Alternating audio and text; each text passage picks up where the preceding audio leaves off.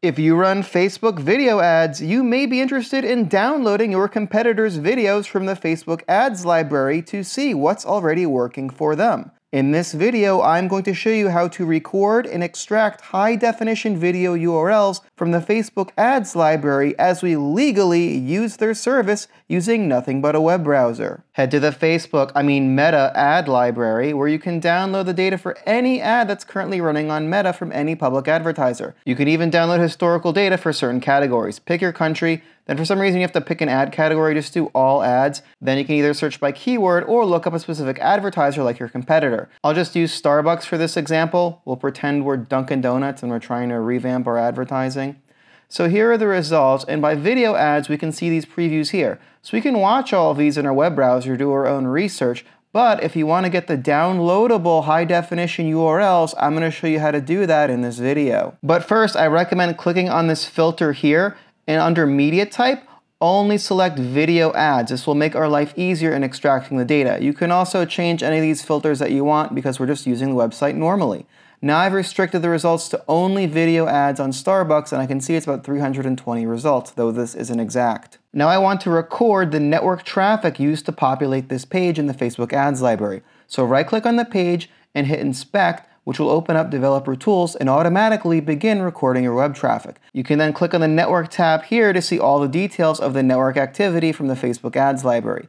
Now refresh the page here to reload that first set of results from the Starbucks ads. To access the video URLs, go under this filter and type in search underscore ads. This may change in the future, but it's not too likely and then sort by size, and you'll see this huge payload here, 14 kilobytes, will contain the raw JSON data used to power the user interface above on the Facebook ads library. So I can drill down, and I want to see the raw data behind this first ID here, so I can see it ends in 482. And this ad archive ID also ends in 482 and corresponds to this first object here. You can also see when the ad started running, which is useful as successful ads typically tend to run for a long time.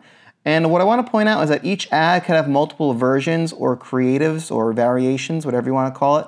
So this video here that I show is from the first variation, which if you scroll down the raw data is under the snapshot object. Then you have to scroll down and you'll see an option for cards. So the ads library UI is just showing us the first card. So we can see the caption here, sending a Starbucks card, dot, dot, dot, or e-gift card. They just want our money. And if you scroll down, you'll see this video HD URL, I think is the data you guys are after. So I can't legally recommend anyone go and access this URL, but if one hypothetically did, it would probably download a high definition version of that video creative, which I want to prove to you right now. So I'm to close this stuff out, get rid of that filter. Then under the network tab, I can go to media and I can inspect the actual HTTP calls that my browser uses to populate this media. I'm to click play here so I can watch the video. Then if I scroll down, I can see this 13 kilobytes corresponds to this request here. Now pay attention to this URL, it ends in .mp4. This is the standard definition URL, not the high definition URL. So I pasted it in there on the top line, and when I copy this video SD URL, a different one, you'll see it's the same exact one. So what's in the JSON corresponds to what the browser loads when I click the preview button. Now this high definition URL it doesn't have a file ending for some reason. It just ends in dot and then a question mark for query parameters that are likely used to access the HD file. So if I take a closer look at the file here, let me just show you that there's no file ending. So if one were to hypothetically access this HD URL, you would need to manually add a file ending like .mp4 so you could watch the file appropriately on your computer. Now to get the rest of these videos, I'm just going to scroll down and each time I scroll, Facebook Ads is going to load more and more of these JSON blobs into my browser which I'm capturing as I'm simply recording network traffic. So I'll be able to capture all these in the end. And I got to the end here. It took me all the way back to 2018, but this ad is inactive. I thought they weren't supposed to show inactive ads unless it was like for political stuff. So I'm not sure if this is a bug or a feature. But anyway, now we have all this JSON data loaded in our browser under the network tab. So to get all this data out, we can use this down arrow right under the network tab labeled export HAR.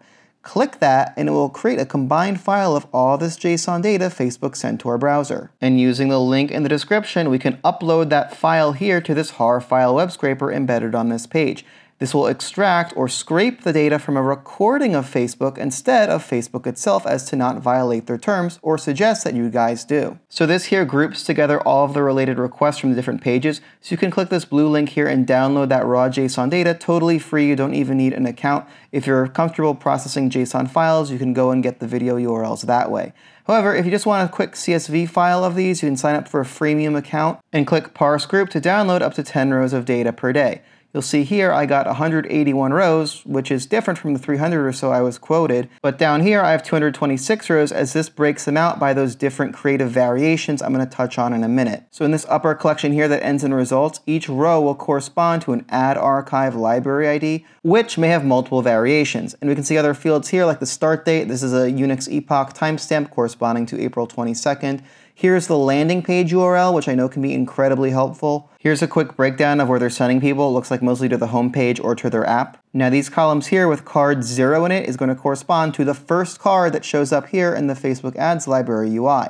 So that caption corresponds to the text we saw, and here are those video URLs I showed you earlier. So the standard definition one is the one that we saw in the browser, loads the video, and the HD URL is the special one that doesn't have MP4 attached to it. Now if I click on any of these ads, see ad details, I can see those two variations that I pointed out earlier in the raw JSON. So if I scroll down, I can see this ad has multiple versions. So it has two different videos. One's a square video, the other is a rectangle video. Looks like there's a bug in their UI. It should be showing me the square one, but Whatever, it's Facebook, they move fast and break things. Now if we want to get all of the different variations for all of the ads, we have to look at the second collection here that ends in cards. So remember, each card is a variation. So this here has two rows, these both refer to the same ad archive ID, but each of these rows refers to a different version of the same ad. So one URL has the URL to the square video, the other URL has the URL to the rectangle video here. And if I click download CSV, this software will add columns to the right that will reference the parent ad ID. So I can see here are the URLs for both of those different variations, but on the right side I get the ad creative ID so you can see those match. Now here I can see that this ad creative ID is repeated four times, meaning this ad has four different variations. Looks like one with no caption, one with a caption, and there are two different video URLs, times two is four total video URLs. So it looks like Starbucks is doing two different types of split tests within the same ad, so we can get an understanding for how their ad strategy works. And we can also see the landing pages here, which I know is incredibly useful for other marketers. Now, if one were to go to this video HD URL column and copy all these URLs and then paste them into a text editor, one could hypothetically access all these URLs and download all the video content for Starbucks to get all the videos of their ads. But because this access would fall outside an official Facebook client, I can't legally suggest anyone do that because it would likely violate the Facebook terms of service. But if one were to hypothetically do that, remember they would need to add .mp4 to whatever file they download because it's missing in this JSON for whatever reason, and maybe that's just how their servers are configured for whatever strange reason. So be careful. Thanks for watching until the end, and check out this next video on scraping data from Instagram, which you can do legally using the same HAR file web scraping approach.